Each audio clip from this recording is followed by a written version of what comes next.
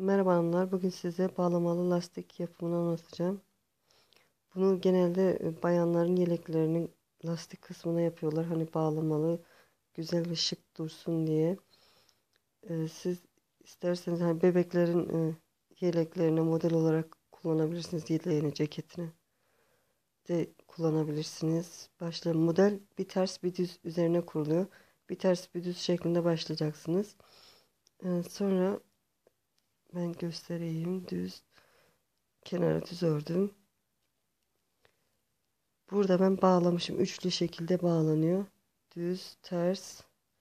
Burada bağladığım için hani ya çapraz gidecek. Bir üçünü bağlayacağım. Sonra da diğer üçünü. Yani yanlar düz olacak. Şimdi düz, ters, düz ördüm. Bu üçünü bağlayacağım.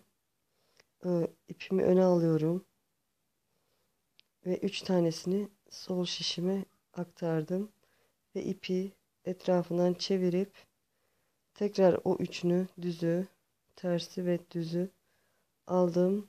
Sonra bir sonraki tersi örüyorum ve sabitleştirmiş oluyorum. Bu şekilde düz ters düz örüyorsunuz. Yanlar hep düz oluyor. Ve üçünü diğer şişe alıp ipi arkadan çevirip tekrar düz ters düzü diğer şişe örmeden alıyoruz ve tersi örerek ipi bağlamış oluyoruz. Düz ters düz ördüm ve ipi diğer şişe aldım.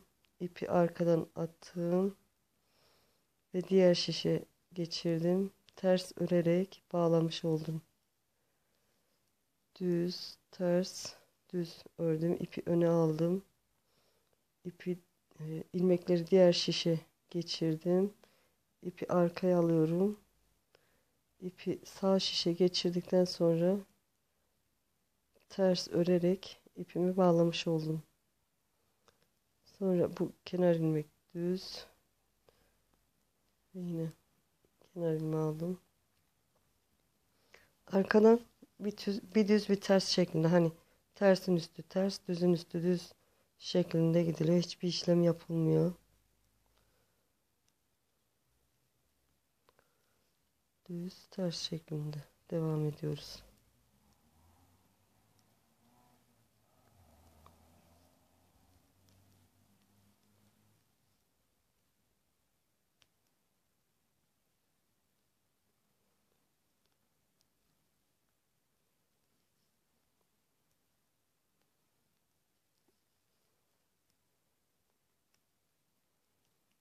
Sıkı bağladığım için biraz zor gördüm. Düz, ters, düz, ters ve düz. Arkamız bitti. Öne geçiyoruz hanımlar. Şimdi daha önce bu üçlüyü bağladığımız için hemen baştaki üçlüyü bağlamam lazım. Üç, yani düz, ters, düzü. Daha önce bunu bağladım. Şimdi bunu hemen yanına bağlıyorum bağlayacağım. Önce düz örüyorum. Sonra 3 tane düz ters düz üçlüyü alıyorum. Bunu bağlayacağım için ipi öne alıyorum. Çapraz şeklinde gidiyor hani. Sonra ipi arkaya aldıktan sonra tekrar diğer şişe geçiriyorum. Ters örüp ipi sabitliyorum. Önce düz, ters, düz şeklinde ördüm. Ördükten sonra ipi öne aldım. Şişe, diğer şişe geçirdim. İpi arkaya aldım. Üçünü diğer şişe geçirdim. Ters ördüm.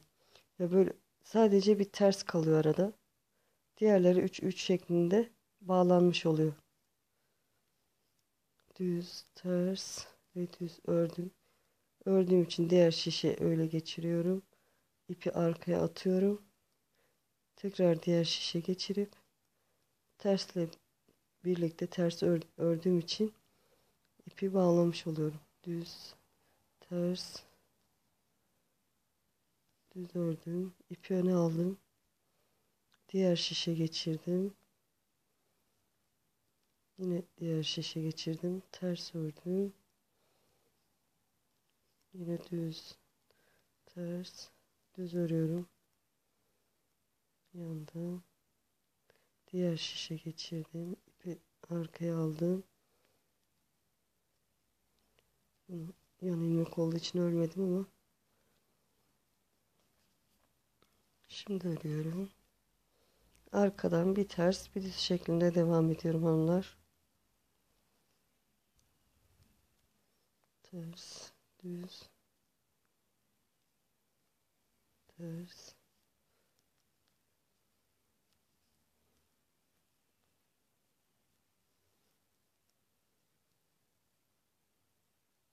E, ya arkada tersi ters düzü düz örmeye dikkat edin hani.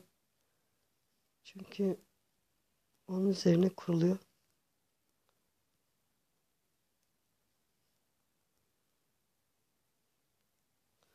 Yanlış olmasın. Şimdi yine öne geçtik. Dikkat ederseniz hani bir böyle sıra bir böyle sıra şeklinde bağlama gidiyor.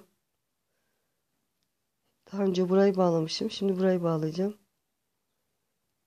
Örüyorum bir. Düz örüyorum.